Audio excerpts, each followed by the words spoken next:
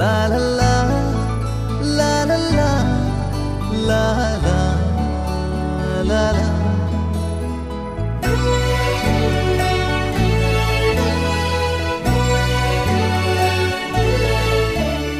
Room ഒരു calm and quiet ഒരു ലുക്കാണ് എവിടെ നോക്കിയാലും white white walls white bedsheet white tiles അതിനങ്ങനെ ഭയങ്കര പീസ്ഫുൾനെസ് ഇഷ്ടപ്പെടുന്ന ഒരാളാണ്. അല്ല അതിഷ്ടമാണ് പക്ഷേ നമ്മൾ അതൊന്നും ആലോചിച്ചുകൊണ്ട് ചെയ്തതല്ലേ. ഇപ്പം നിങ്ങൾ പറഞ്ഞപ്പോഴാണ് അതിനെപ്പറ്റി ആലോചിക്കുന്നത്. കുറച്ചുകൂടെ പീസ്ഫുൾ അറ്റ്മോസ്ഫിയർ ആണ്. നല്ല പീസ്ഫുൾ അറ്റ്മോസ്ഫിയർ ഇപ്പം സൈജുവിന്റെ റൂമല്ലേ ഇത്? അതെ ആ അപ്പം സൈജു ഇപ്പം ഷൂട്ടിങ്ങിനൊക്കെ ആയിട്ട് ഒരുപാട് ഹോട്ടലുകളിലും ലൊക്കേഷനിലും ഒക്കെ മാറി മാറി പോകുന്നുണ്ടല്ലോ. അപ്പോൾ ആ റൂംസിലൊക്കെ താമസിച്ചിട്ട് ഈ റൂമിലേക്ക് വരുമ്പോൾ എങ്ങനെയാ അതിന്റെ ഒരു ഫീലിംഗ് ഒരു അറ്റാച്ച്മെന്റും ഒരു കംഫർട്ട് ഒക്കെ തോന്നാറില്ലേ? പിന്നെ നമ്മൾ നേരത്തെ സംസാരിച്ച പോലെ കംഫർട്ടബിൾ ഫീലിംഗ് അതുകൊണ്ടാണ്. അതായത് ഇവിടെ അച്ഛനും അമ്മയും ഉണ്ട് ഭാര്യയും മകളും ഉണ്ട്. അപ്പം അതാണ് മെയിൻ ആയിട്ട് പിന്നെ നമ്മുടെ സ്വന്തം വീടാണ്. അല്ലെ റൂമിൽ താമസിക്കുമ്പോൾ ഉണ്ടായിരിക്കുമല്ലോ. അതെ അതെ അതെ. പിന്നെ ഈ റൂമിനുള്ള ഒരു പ്രത്യേകത എന്ന് വെച്ചാൽ ഈ റൂമിലാണ് എ സി ഉള്ളത്. അപ്പൊ അതാണ് ഇതിന്റെ ഏറ്റവും വലിയ attraction. അതെ. അപ്പൊ അതിന്റെ കൂടെ കിടന്നാൽ നല്ല സുഖമാണ്. ശാരികേ ശാരികേ സാന്ദ്രമായി പാടുനി വസന്തം സ്വരോദാരമായി.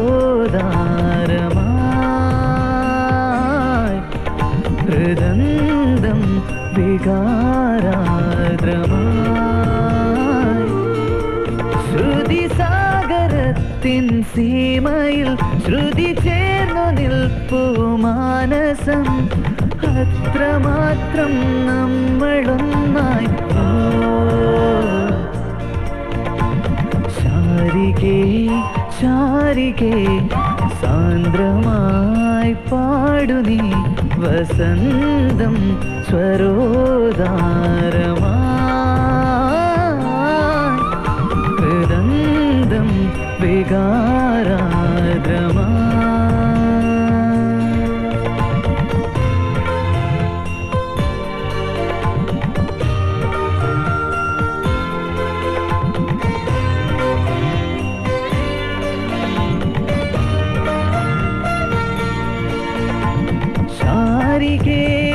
ശാരികേ നിന്നെ ഞാനറിവു.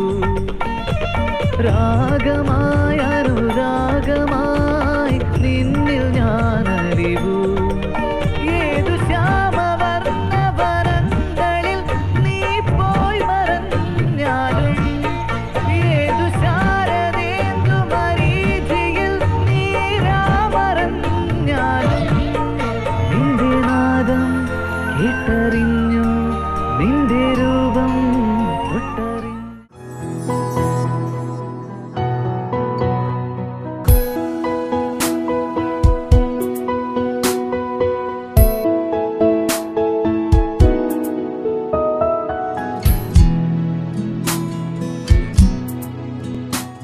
ഡൈനിങ് ടേബിൾ ഇങ്ങനെ ഷോയ്ക്ക് ഇട്ടേക്കുവാണോ അതോ ശരിക്കും ഇവിടെ ടൈം സ്പെൻഡ് ചെയ്യാറുണ്ടോ? കാരണം മിക്ക വീട്ടിലും എന്നാ പറ്റുന്നതെന്ന് ചോദിച്ചാൽ എല്ലാവർക്കും അടുക്കളയിൽ നേരിട്ട് ചൂടോടെ കഴിക്കാനൊക്കെ ആയിരിക്കും കൂടുതൽ താല്പര്യം.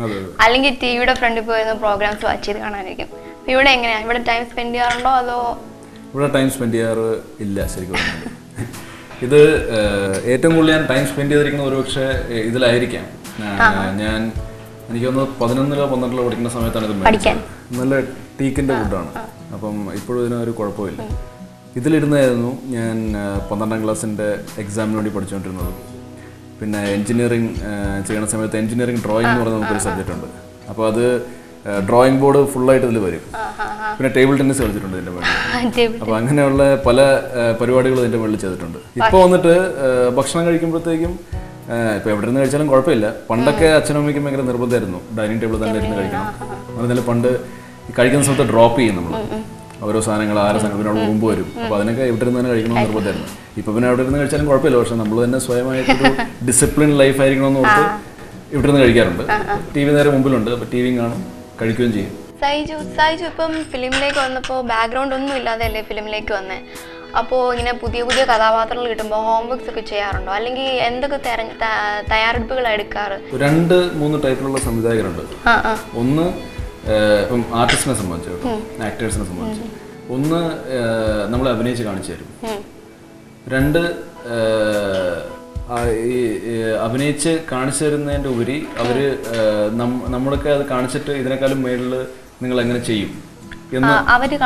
അവർ കാണിച്ചു തന്നിട്ട് ഇതേപോലെയാണ് നമുക്ക് വേണ്ടത്. പക്ഷെ നീ നിന്റെ സ്റ്റൈലിലൊന്നും ചെയ്ത് കാണിക്കാൻ പറയും. മൂന്നാമത്തത് നമുക്ക് ഫുൾ സ്വാതന്ത്ര്യമാണ്. നമ്മൾ ചെയ്യുന്ന പോലെ. പിന്നെയും ഓരോ കാറ്റഗറീസ് ഉണ്ട്. ഇപ്പം ഒരെണ്ണം ഇഷ്ടപ്പെട്ടില്ലെങ്കിൽ ഒരു നാലഞ്ച് ടൈപ്പിൽ നമ്മൾ കാണിക്കാൻ വേണ്ടി പറയാം. അതിനകത്ത് നിന്ന് സെലക്ട് ചെയ്യാം. ഇങ്ങനെ ചെയ്താൽ മതി എന്ന് പറയാം അപ്പം അങ്ങനെയുള്ള പല ടൈപ്പിലുള്ള അപ്പം ആ, മയൂഖത്തിന്റെ സമയത്ത് ഒരു പ്രത്യേകിച്ച് ഞാനൊരു തയ്യാറെടുപ്പ് എടുത്തിട്ടില്ല. അതിന്റെ കാരണം എനിക്ക് സിനിമയെ പറ്റി ഒന്നും അറിയില്ല. അപ്പം ഹരിയൻ സാറിനെ പറ്റി നമ്മൾ കേട്ടിട്ടുണ്ട് അവിടെ ചെന്ന് നിന്നാൽ മതി.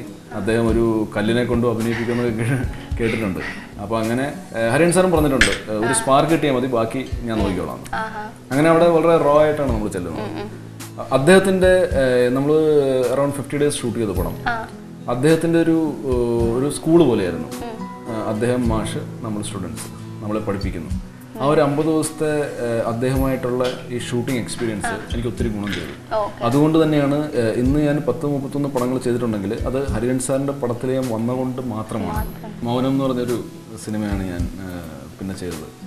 സുരേഷ് മച്ചാട് എന്ന് പറഞ്ഞൊരു സംവിധായകൻ സംവിധാനം ചെയ്തത്. ഒരു ഓഫ് ബീറ്റ് സിനിമയാണ്. ഒരു മെസ്സേജ് കൊടുക്കുന്ന സിനിമയാണ്. പിന്നെ ഇതിന്റെ അകത്ത് നല്ല പാട്ടുകളാണ്. എനിക്കൊന്ന് ഒരുപക്ഷെ ഞാൻ ഭയങ്കര ലക്കിയാന്ന് പറയാം. ദൈവം എന്നെ എന്താണ് ഭയങ്കര അനുഗ്രഹി അഗ്ന- അനുഗ്രഹിച്ചിരിക്കുന്ന ഒരു സംഭവമാണ്. അതായത് ഞാൻ ലീഡ് റോൾ ചെയ്യുന്ന സിനിമകളിലെ പാട്ടുകൾ വളരെ അധികം നന്നാവാറുണ്ട്. ഈ ഇത് ആരാ പാടിയിരിക്കുന്നത് ഇപ്പൊ ഈ മ- മൗനത്തിലെ മൗനത്തിലെ ഒന്ന് രണ്ട് പാട്ട് ദാസേട്ടൻ പാടിയിട്ടുണ്ട്. പിന്നെ രണ്ട് പാട്ട് ചിത്ര ചേച്ചി. പ്രണമാമ്യഹം. പ്രണമാമ്യഹം. പ്രണമാമ്യഹം. പ്രണമാമ്യഹം.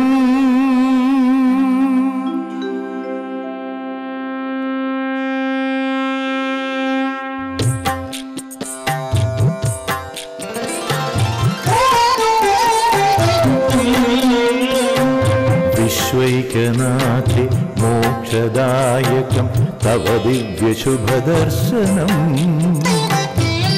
തൃക്കൈകളിൽ പള്ളിവാളും ചുരികയും കടുത്തിലയും ദേവി വിശ്വൈകനാഥെ മോക്ഷദായകം തവ ദിവ്യശുഭദർശനം തൃക്കൈകളിൽ പള്ളിവാളും ചുരികയും കടുത്തിലയും ദേവി